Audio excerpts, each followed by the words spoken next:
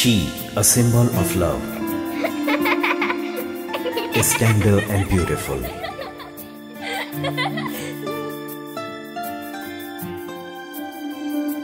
Most magical creation of God, a creator herself, she is so wonderful.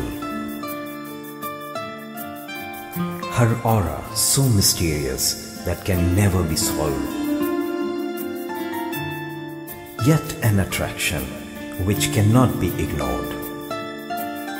The looks in her eyes have many questions. How cleverly she holds the emotions.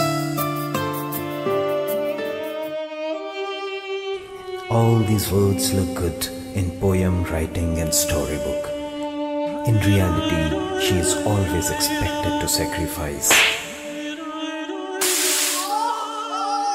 Hiding her tears and sorrows in a clever disguise. And that's the reason these situations arise.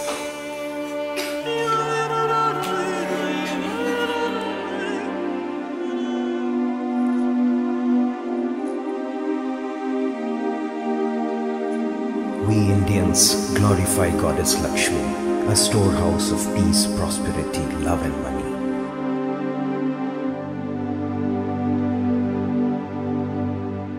We even portray our girls as one of her dummy.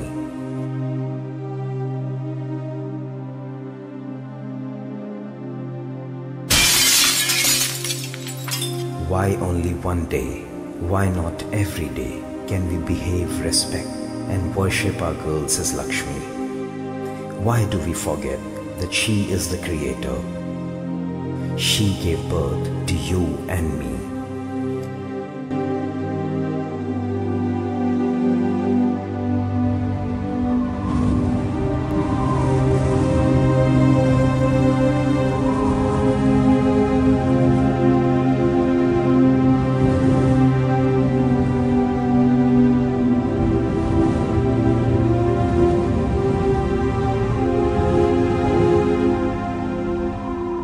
Let's all behave, respect, and worship our girls as Lakshmi, and we will be blessed with our lives as a storehouse of prosperity, peace, love, and money.